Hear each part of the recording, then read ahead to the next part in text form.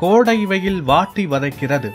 தூத்துக்குடி மாவட்டம் சாத்தான்குளம் அருகே படுக்கப்பத்து பகுதியில் கால்நடைகள் தண்ணீர் குடிப்பதற்கு அமைக்கப்பட்டிருந்த தண்ணீர் தொட்டியில் தெருநாய் ஒன்று வெயிலின் கொடுமையால் அமர்ந்து கொண்டு சமாளித்தது.